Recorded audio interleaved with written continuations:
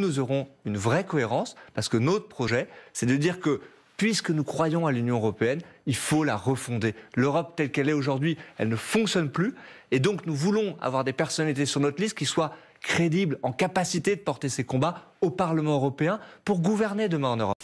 Donc on n'en a pas fini ni avec le djihadisme, ni avec euh, les Français qui combattent contre la France.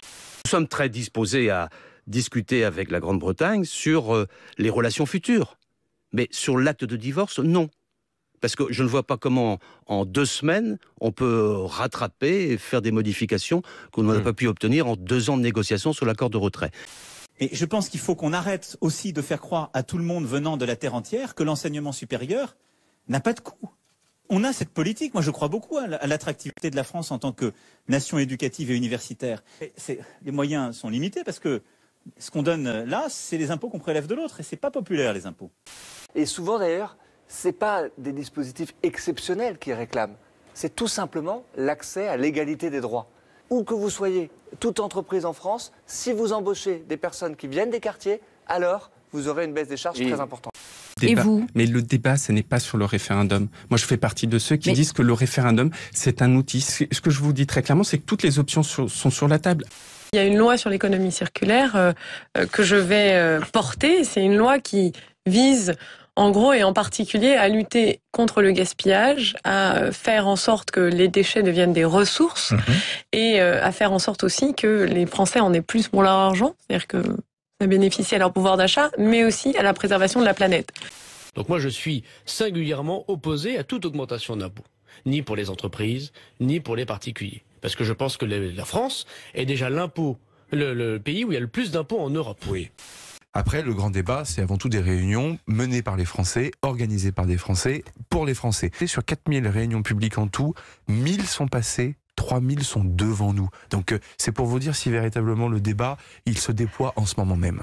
Un texte qui doit reposer sur un, équilibre savant entre euh, la protection des libertés publiques et de l'ordre public. Mmh. Je pense que j'ai exprimé des idées euh, assez claires dans le fait que je ne tolère pas que des personnes viennent manifester avec des boules de pétanque. Je pense que ce n'est pas manifester, c'est venir casser. Et dans ce cas-là, pour ces personnes, il faut que l'État apporte un certain nombre de réponses claires. Et c'est ce que nous faisons dans le cadre de ce texte.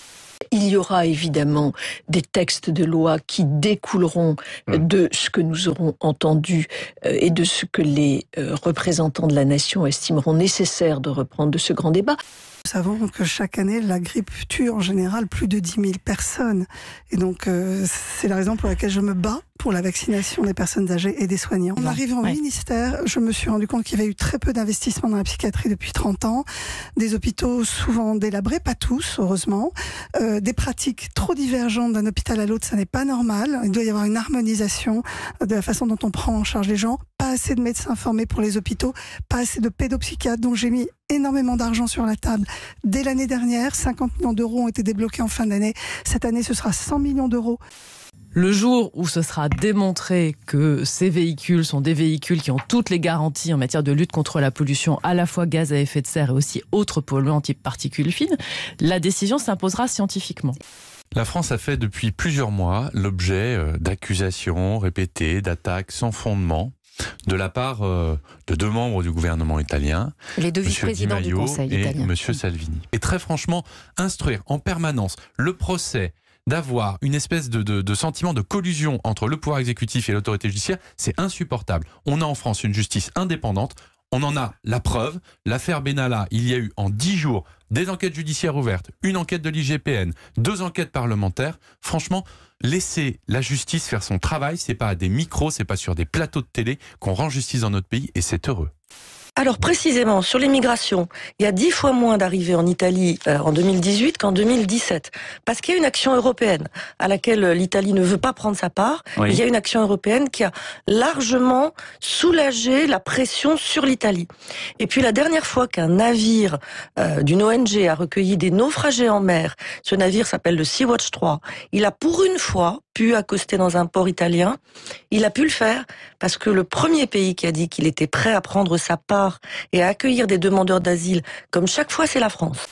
Dans tous les autres pays d'Europe, tous les enfants handicapés vont à l'école de la République. depuis plus de 30 ans. C'est vrai. On est en retard parce qu'on a eu une vision protectrice. Donc il faut qu'on change notre modèle. C'est tout le chantier qu'on a avec Jean-Michel Blanquer de faire cette école inclusive une réalité.